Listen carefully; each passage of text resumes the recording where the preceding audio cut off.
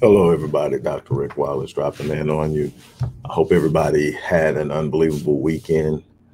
Um, for me, it was extremely busy. Uh, got a lot going on, got a lot of projects uh, on deck uh, that are going into full swing this month. This month is a very pivotal month for Rick Wallace Enterprises, uh, as well as the Odyssey Project, uh, where I'm the executive director founder and executive director. Um, speaking of the Odyssey Project, before I get started, uh, I want to remind everybody that uh, I have a major uh, project kicking off. It starts with the writing of my 25th book, which is obviously a milestone, something that I'm extremely proud of. As I've shared before, it's not something that I had uh, ever planned. Uh, I didn't set out to write 25 books. I set out to write one and realized that I had a lot to give the world by way of literature. And so I've been writing mad crazy long before that, but uh, when it comes to books uh, since then. In this new uh, quest uh, for this new book project, it is centered around the absolute necessity that we build collective generational wealth within the Black community uh, and that we start now. And this book has been years in the making as far as research. Um, and we started writing, when I say we, I mean me, started writing this, this month. And uh, the goal is to have it done before the end of the year. Uh, what I'm doing differently, uh, for those who aren't aware, what I'm doing differently uh, with this project is I am inviting my community, those people who appreciate the work I do, those people who have followed me, those people who believe uh, what I do is necessary.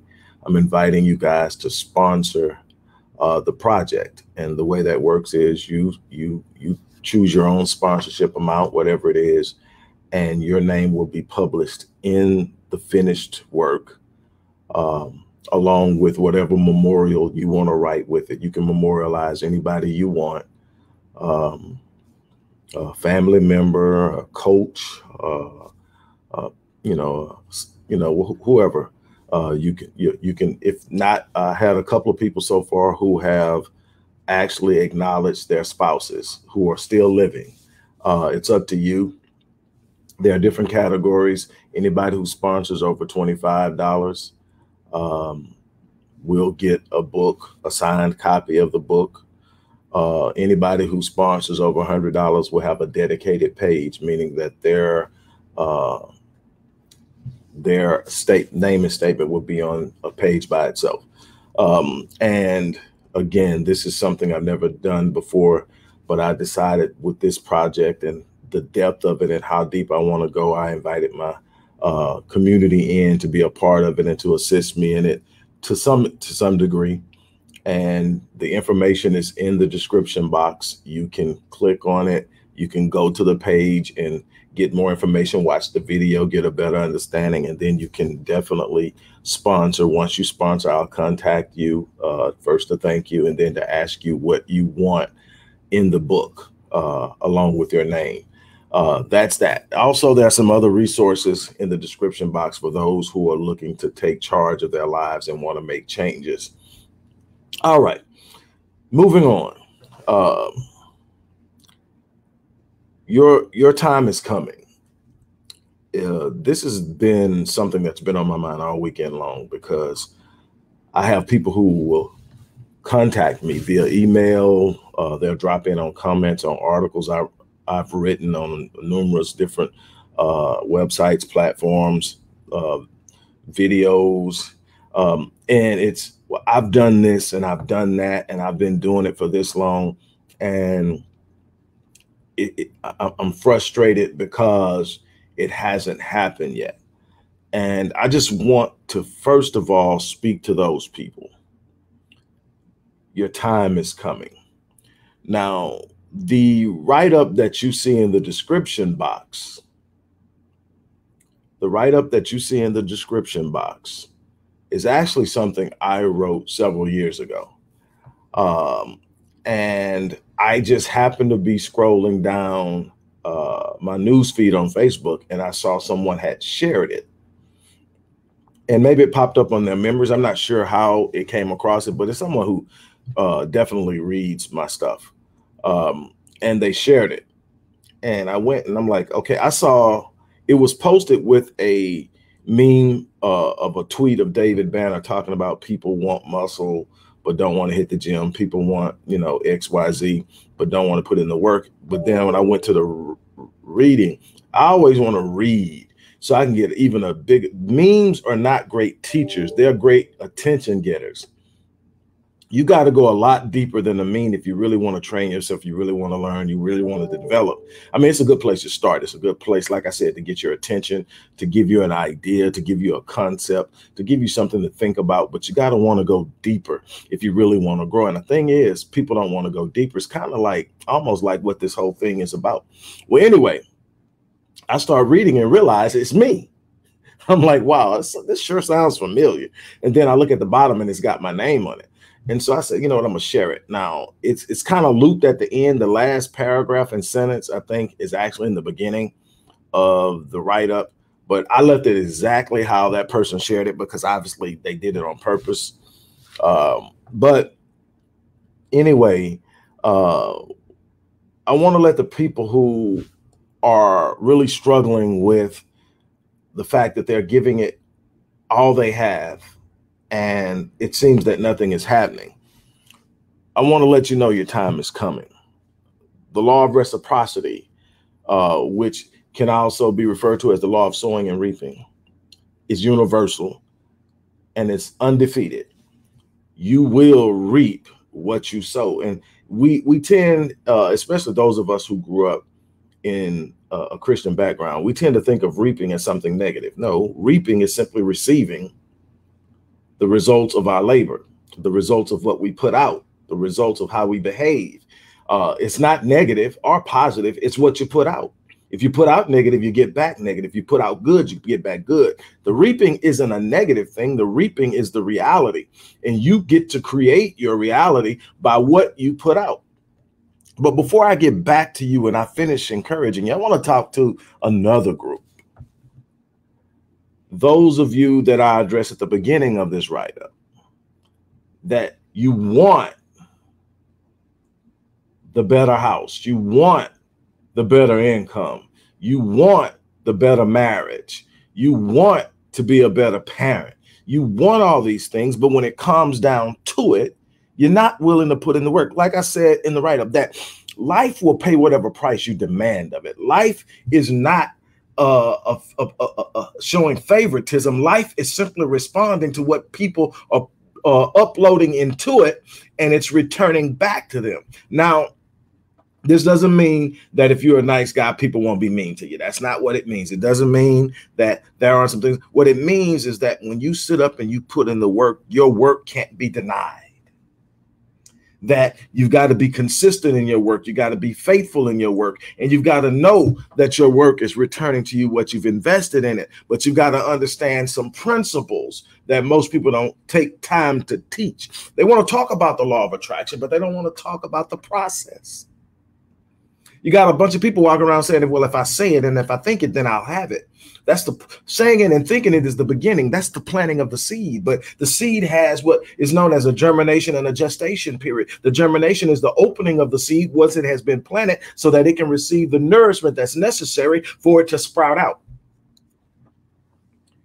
See, most people aren't aware of the germination process of what they're doing. See, they want to do something and they want an immediate return, but see, there's a germination process. The process in which you plant plant the seed, and then the seed opens up, and then when the seed opens up, there has to be nourishment for the seed in order for the seed to grow strong and to take root and to sprout out most of you aren't nourishing what you put down. Most of you aren't consistently revisiting your vision. Most of you aren't sitting up and acting on what you believe will happen. Most of you are sitting around and waiting.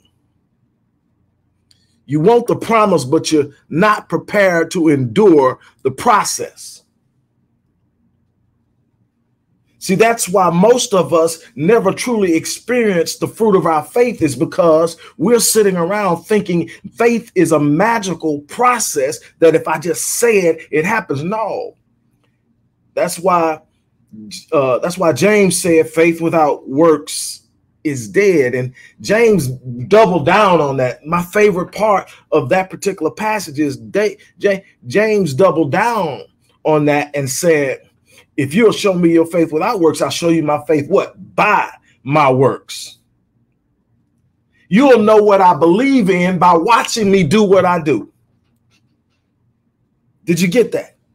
I don't have to talk what I believe. You'll see it in my actions. See, there's something, some people are talking and saying what they believe, but I watch their actions. Like, you don't really believe it.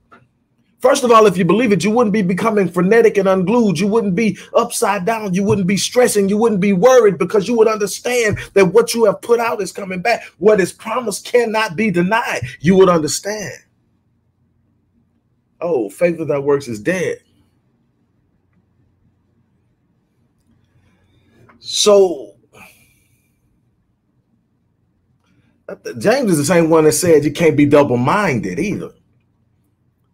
Go back one more chapter, and you know, hey, again, it's leading up to it. You, you go back one more chapter, and say, hey, hmm, double-mindedness. You know, you're saying one thing, but you're behaving a different way. That's borderline mental illness I'm do you know that the mind is really strained and stressed when you're saying one thing and you're doing something different? It's not made to do that. And you're wondering why you're always on edge. It's because you're talking the game, but you're not living it. But but but but but, moving on, what I'm trying to get you to understand is there is a germination period where the seed is planted and then the seed is in the ground and the seed begins to open up so that it receives the nourishment within the soil. See, now here's the thing that's going to get some of you. I have said for years that adversity is the fertile soil in which faith is planted and cultivated. What does it mean? It means you can't grow character outside of adversity. You can't build strength outside of adversity. If you go in the gym and you're not pushing your body to a point where there's resistance and physical adversity, you can't grow. You can't grow without emotional. Why? Because it has to be tested and moved and strengthened. But adversity is the fertile soil. So what happens? You plant the seed and, and, then you've got to understand that it's going to come through and go through some things. But that's the beauty of it. It's not in the absence of difficulty that the promise is fulfilled. It's not in the circumvention of life's vicissitudes that the promise is fulfilled. It's not in finding the easy way around it. It's through the storm, through the disappointment, through the frustration, through the heartache, through people abandoning you, through people telling you no time and time and time and time again, that you will find that you are literally developing and nurturing the seed that you planted. So you don't need but one yes. You don't need but one yes. And you already have the yes if you truly know. But let's move on. The problem is after you germinate, then there's the gestation period, the growth now, see, a lot of people have planted acorns, which produce oak trees, but you want a gestation period for a rose bush. See, now the gestation period for the rose bush is a lot shorter than the gestation period for the oak tree. There is uh, a bamboo tree uh, in, I believe, China. China, China. If I'm not mistaken, the Chinese bamboo tree that takes five years to sprout, but sprouts to over 100 feet in 90 days after it begins to sprout. But for five years, you got to water something you don't see. Oh, what is faith? Faith is the substance of things hoped for and the evidence of things that not seen. Faith is what makes you water a bamboo tree for five years while people walking about thinking you're crazy. You're just sitting there watering that dirt month after month after month. And he's sitting there and he's watering that dirt. But in five years, you see it sprout up. And in 90 days, you have a fully grown 100 foot tall bamboo shoot.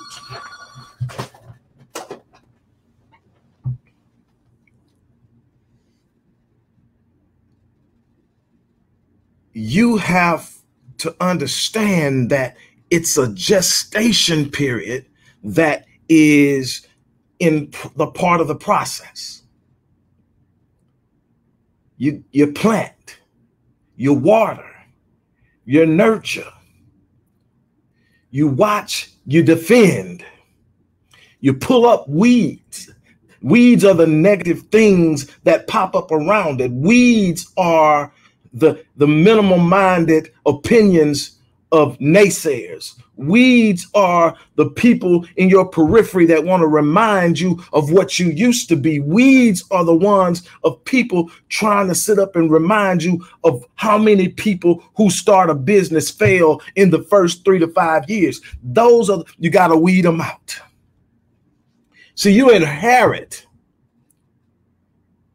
your original circle. You're born into it. You don't have a choice. You, you got your parents, your siblings, your your peers, uh, your your teachers, your your past. You you you inherit that first circle. That's not the circle that's going to get you to the promise.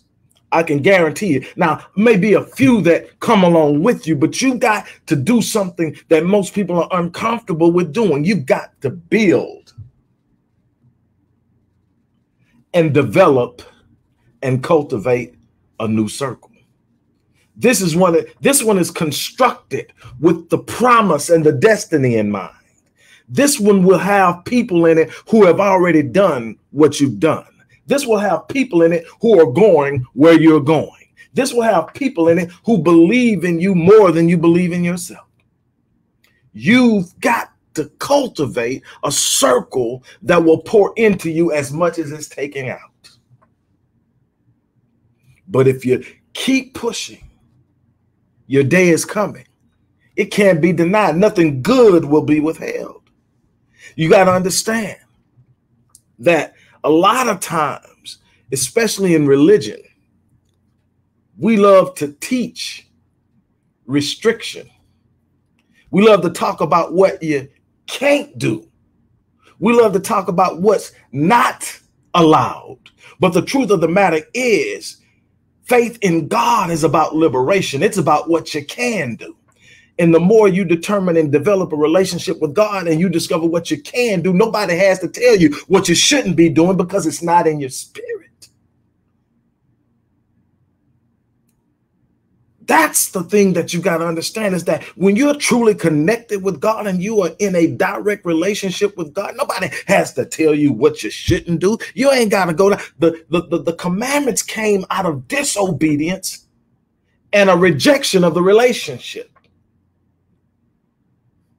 When you are truly in relationship with God, nobody has to tell you what you should not be doing. Your spirit will convict you. I'm talking relationship, not religion now. I'm talking about having a one on one. Because it's the one on one relationship that underwrites the faith. I try to use an analogy when I'm trying to teach faith in the uh, importance of relationship is while I know who Jeff Bezos is, and I know who Elon Musk is, and I know who Bill Gates is, and I know who Warren Buffett is. I don't personally know them. I don't have a relationship with them. And therefore, any of my needs that I need to get met or any opportunities that I have that need funding, I'm not comfortable in contacting them. It's not that if the right situation didn't approach, I couldn't develop a plan, but there's no relationship that says to me, if I go there, I'm going to get it. But now, if my daddy had it, If my daddy had it with the relationship I had with my father before he died, it wasn't even a question. If I came and it was a realistic situation, it was a need, it was a problem, or an opportunity, dad was in. That's relationship. And the the belief that I had and the confidence that I had in my dad, that's faith. Guess what? So whenever something popped up that was bigger than me, I didn't get I didn't become frenetic and unglued. Why? Talk to my daddy. You've got to develop an understanding of who you are. See, many of you are suffering from an identity crisis. You don't know who you are. So the world has been telling you for the longest you're worthless, you're youthless, you, you, you, you, you, you, you, you're minimal, you're barely, all of these things, you're never gonna, all these things because you didn't know who you were. If you if you want to use the Bible as a, a, a point of reference, I, I like Gideon. Gideon is threshing wheat in the wine press. Not because it's a cool little place to thresh wheat, but because he's afraid of the Midianites. And here comes along an angel of God. And says, mighty man of God. And Gideon's looking around like, who you talking to? Who you talking to? See, Gideon had an identity crisis. Gideon had learned to define himself by him by his circumstances, by his situation, by his position. He didn't know who he was. He only knew where he was. And he had developed an identity associated with where he was instead of where he was going. I need you to hang with me for a moment. Whether you're Christian or not, this applies. You got to pay attention here. But guess what happened? When I studied that, and I, I mean, when I studied that, I'm looking at it and I'm going, wait a minute, there's something here that I bet you a bunch of people miss. Not once, but more than once, God said, mighty man of valor. And Gideon was like, no, no, no, no. I am not only a part of the least of the clans. I'm the least in my clan. You can't be talking to me. What I found out is that God doesn't call you by where you're at, He calls you by who you are. And you have to learn to call yourself not by what you've been through, not by where you're at, but by what your destiny tells you about yourself. See, this is a journey. You're going somewhere. You're on this earth to do something. You're not here just to exist. You're not here just to survive.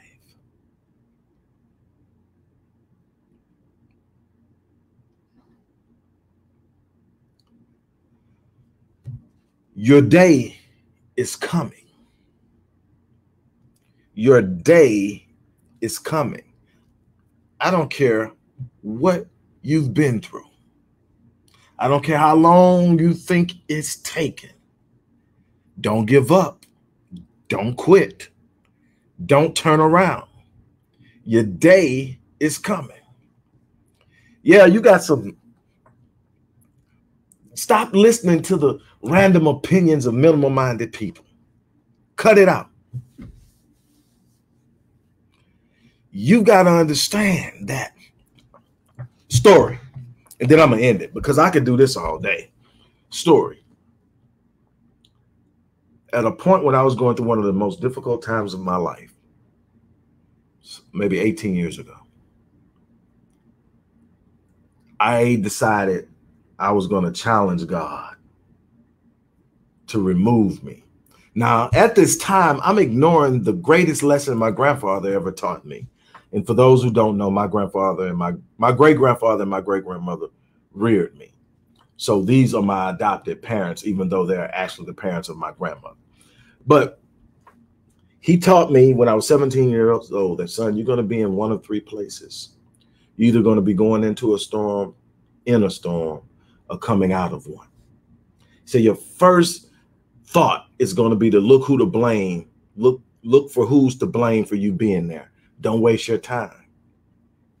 It's it's not that important, even though you need to know so you won't go back. But most of the time, it's you the choices you make, the people you allow around you, the people you associate and affiliated with. It's it's got something to do with a decision or choice you made. Don't worry about that. Here's your biggest responsibility. Your number one responsibility as a man is when you find yourself in the storm is to make sure you come out of the storm a better man than when you went in. Let the storm mold you. Let the storm shape you let the storm strengthen you. And he taught me that when I was 17. Now, here I am in my 30s, late 30s. And I'm in this situation and I decide I'm not going through the storm. I'm finna quote some scriptures and make some demands, and God's gonna bring me out. Now, what I'm gonna tell you about when I'm talking about community, remember I talked about the relationship? And I talk about communing with God. I'm talking about communing with God on a level where your spirit communicates with the spirit of God. That spirit is connected with spirit and the Holy Spirit or God's spirit or whatever you want to call it, because semantics don't mean a lot to me.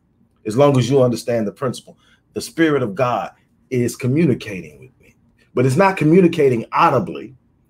I've actually gotten to a place where I am I'm humbled by my situation so much that I'm no longer in in in in, in, in um, embedded in myself.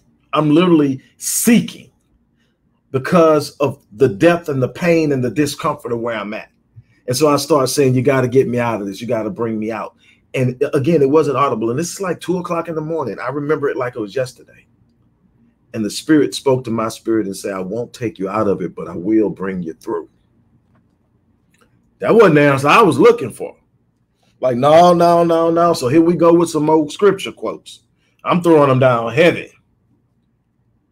And the second time that the Spirit spoke, and only someone who is really truly in tune with on a spiritual level, meaning you're not carrying jealousy in your heart, you're not carrying envy in your heart. Not all that stuff lowers your energy level, your spiritual energy level, and it takes you from a level where God operates and resides and deals with us we he deals with us. You got to get past gratitude before you can even hear God. This is, you know, you hear people talking about vibration and frequency. It's real.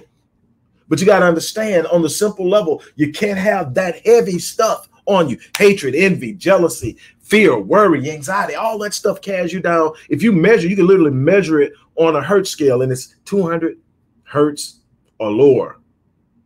Gratitude is 500 hertz. And then after gratitude, you got love.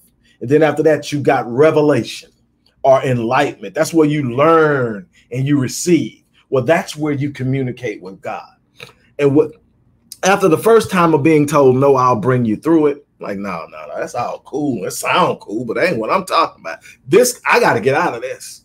And the second response was a little bit more detailed, but not much. But it was so clear. I have never in my life since asked God to take me out of anything. The response was this I will not bring you out. I will bring you through it whole. But see, you have become embedded in your comfort. But I'm more concerned with your character than I am your comfort. And I can't build comfort in, I mean, I can't build character in comfort. That was the answer. That in my most trying times, God is building the character I need and the integrity to underwrite that character that will hold me at a level that I need to be operating at to do the things that I've been designed to do without folding. You got to hold on. You, you you you won't get pulled out of it, but you will be brought through it. And when you come through it, you won't be the person that entered. And that's what it is. You don't get what you want in this life, you get what you become.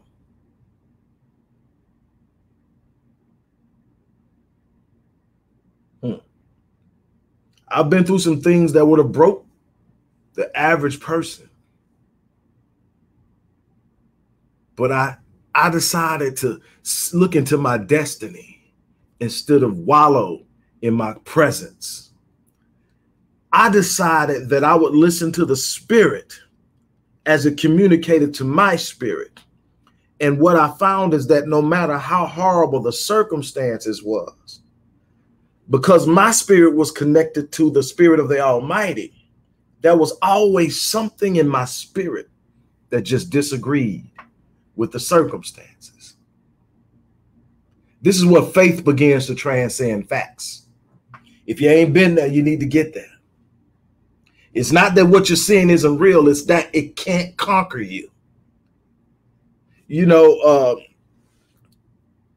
as I as I shut this down, I'm reminded of something that I heard in a movie that totally blew my mind some years ago. The guy was being interviewed by a cop who was trying to stop something and it already happened. And the name of the movie is Deja Vu with Denzel Washington, Paula Patton, and everything. But Denzel found a way to travel back in time where this guy who had blew up a ferry, well, now he's back in time before it actually happens, and he's trying to stop what's already happened. And he's interviewing the guy, and the guy looks at him and says, "Do you know the definition of destiny?"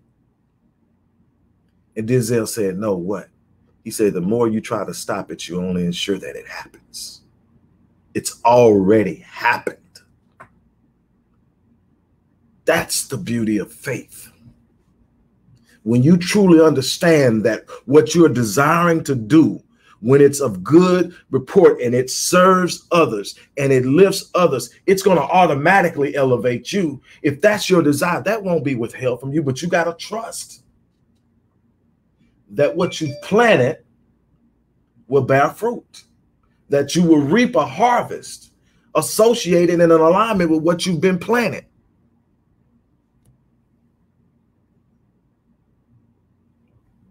Let me tell you something.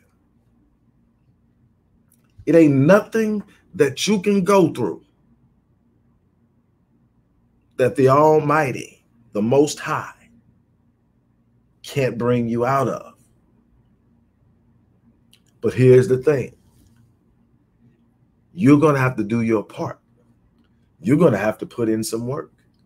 You're going to have to put some skin in the game, so to speak. Number one, stop praying for God to deliver you from the giants he sent you to slay. Wasted prayer. Stop praying for God to do what he sent you to do. Wasted prayer. It's so I I, I told a pastor this nine, ten years ago when he asked me why so many faithful people who are so churched struggle so much. They don't understand prayer. They don't understand the faith process and they don't understand prayer. Prayer is not about getting God to do th- prayer is about revelation. Now, it's communication too. And one of the things I ask people when they come to me and I ask about their prayer life after hearing them talk about five minutes, six minutes about how their their their, their basic prayer goes, I'm saying, okay, we five, ten minutes in the prayer. When do you ever listen? The vast majority of my prayer is getting in so close to God and knowing that ain't nothing I can tell God that God doesn't already know. So I'm not about wasted motion. I'm getting there like, what you got for me? Hmm. What you got for me? What, what, what, what, where am I wrong? Where, what, what's going on? What should I do? See, there's the action side and there's the revelation side. The action side is what requires faith. God isn't going to do for you what you were sent here to do. You were sent here to make a difference. You were sent here to elevate people. You were sent here to encourage, to inspire, to empower. That can't be done. Shoot, you are here for a reason.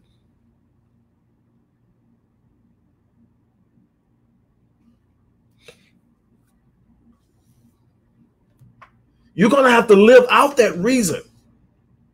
Every last one of you has a Goliath.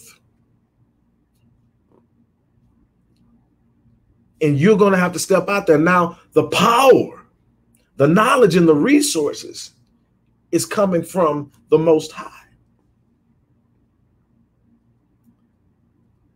But the carrying out of it is come. If if if if, if, if the dynamic wasn't that way, you wouldn't need to be here. You weren't created just to exist.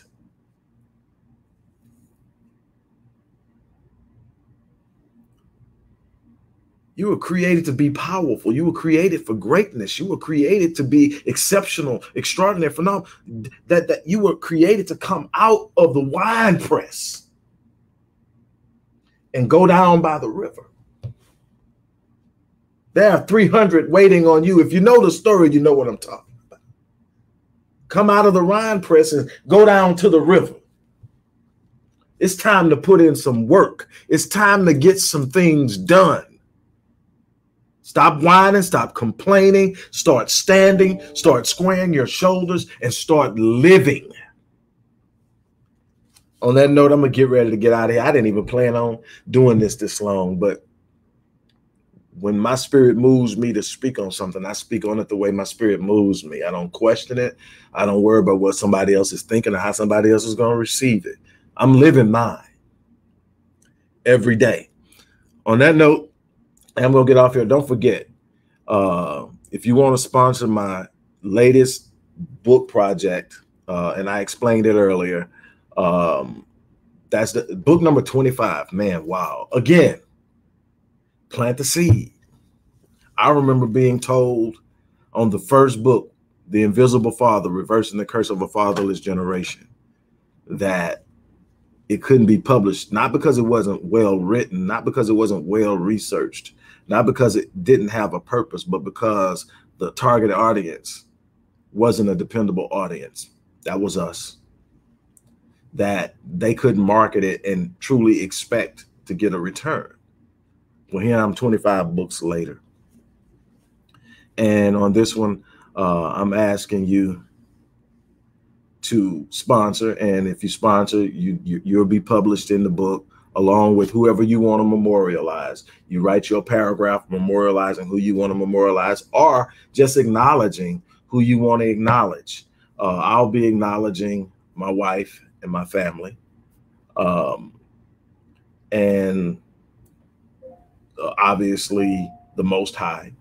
But you you you you not you acknowledge whoever you want to acknowledge who's made a difference in your life whether they'll be memorialized because they passed on or just acknowledged because they're still alive. Uh, that information is in there. Also if you want to work with me on a one-on-one basis to actually literally hash this thing out we i just got through talking about and make something happen in your life this is what i do uh, the information is in there. There are a bunch of different ways you can work with me. If you don't understand, if you don't see what you like, email us and we'll get back with you. But as I always say, you have to live your life. I live my life on full so that when I leave this place, I die on E. I'm not leaving anything undone. I'm taking every ounce of potential that was planted in my DNA at the time of conception and I'm going to spend it all here.